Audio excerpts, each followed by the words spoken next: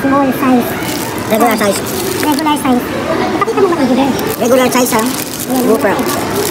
Good, good. Whopper siya na. Ang laki. Big, small. Mo. Ito pa ang regular size. Ito pa ang regular size ng burger. Ng Burger King. Regular size. Hindi mo ba siya para makita yung dito? Dapat Yan ay ilabas mo papasok din. dyan. Ito po ang big, big size. Hindi. Saka 100 pesos. Ang laki. Ayan. Kita po ang difference. Ang laki ng difference eh. oh. Hawakan mo siya sa bot. Hands mo. Mabigat to oh.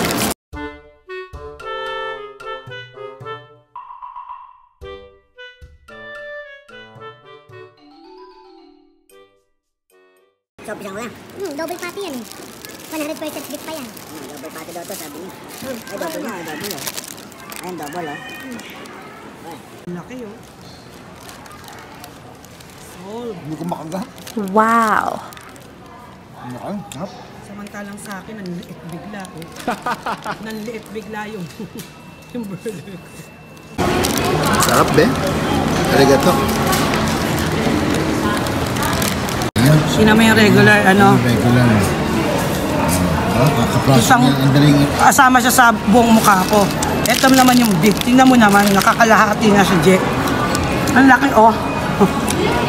Mainit pa ah. Kung may pickles dyan, makakain mo. Hmm? Mga kumangkikan. Hindi na pag rito. Pero ako ng pilos eh. Ayun yan, di siya nakain pickles yan. Puta, di ako mabubusog dyan.